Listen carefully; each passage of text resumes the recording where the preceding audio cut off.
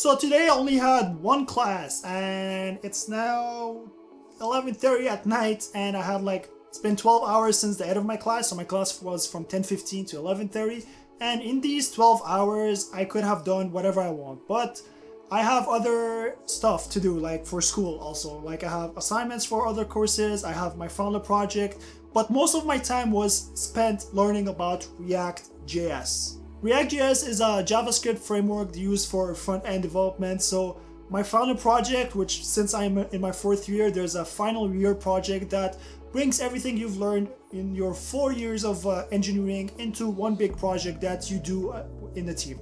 And we are developing a website and I decided to make the front end development of it with another teammate. So I'm learning about React.js. In school, they will not teach you about a lot of stuff. So most of the stuff you have to learn on yourself, especially in engineering and especially in computer engineering. So if you don't know about computer engineering, computer engineering is in the middle between software engineering and electrical engineering, but it's more skewed toward the electrical part. So you have a lot more electrical classes about circuits, about signals, about electronics than classes about programming. So you don't have any uh, UI or U user experience uh, classes. You don't have like more languages classes. So it's a bit of a trade-off in computer engineering. Personally, I like more the classes about software than ele uh, electrical. But if you told me like if you go, can go back three years ago and decide what program to go in, I would have still gotten into computer engineering. Not only I learned a lot about myself and what I really, really love, which is more software part, but I really learned about both fields and I know what I enjoy, what I dislike, what I hate, and what I really love. So this is my two cents for any future university student. Make sure to be 100% confident in what you're gonna get in. Because if not, you're really gonna hate yourself and you're really not gonna enjoy your time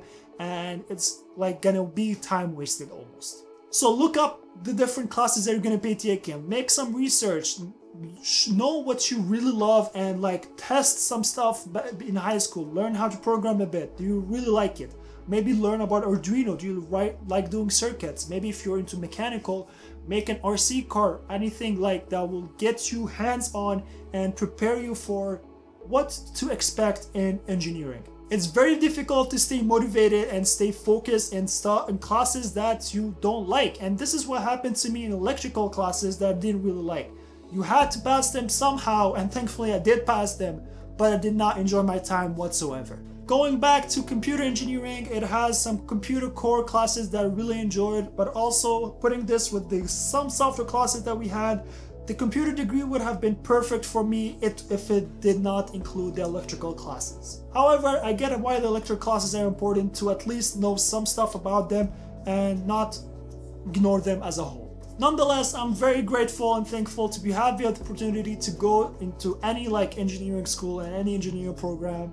But uh, my two cents is really make your research before applying into any program you're gonna go into. Alright guys, so that's it for this video. If you enjoyed it, yes, you, you, if you enjoyed it, go ahead and drop a like down below. And if you have any questions about engineering school or computer engineering, drop them down below as well. I'll try to answer them to my best of my abilities and hopefully they'll be helpful for you.